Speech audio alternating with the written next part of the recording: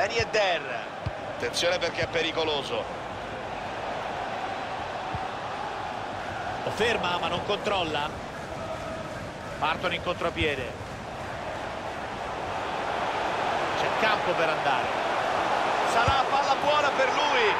Ha preso la mira e ha battuto il portiere. Tutto molto bello, sia il contropiede sia la conclusione finale.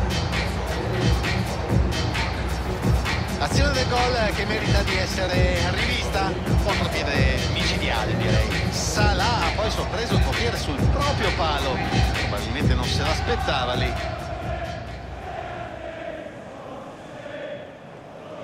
Squadra che